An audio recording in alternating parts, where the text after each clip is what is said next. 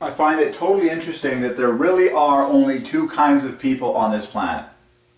There are people who have a desire to see the truth propagated, and there are people that have a desire to extract money from other people. That's the two types of men in particular that I see on planet Earth today.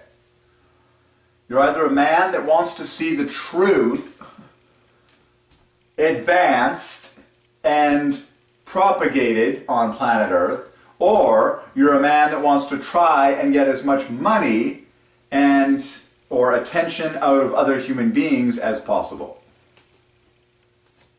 Those are the two types of men that I see living today. Um, disturbingly, there's a lot of people that aren't even searching for truth. They're what I call the cop-out crowd. It's saying, just bedazzle me, just entertain me, just... It makes me cry. Folks, everyone has these questions. Why am I here? What is this universe? Who made me? Does God exist? What happens after I die? What should I do with my life? Does God care? Does God have a plan for my life? Who can I trust? What do I follow? Who is the true religion? What are the true beliefs? What am I supposed to believe about this planet? Who do I follow? What do I do with my life? Everyone has those questions.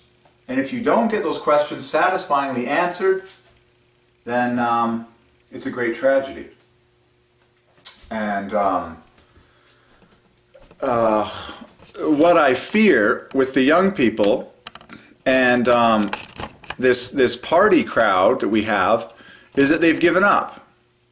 They've they've given up, you know, their search for the answer, or they never put in that much effort anyways, and they gave up, and they said, well, my biological father didn't care about me. He didn't teach me anything. I didn't get it from my small search, and they just gave up and they didn't actually get their answer. What a tragedy. Because it is findable. God is not hidden beyond reason. If you seek Him, you will find Him. If you want the truth, you will get the truth. Um, okay.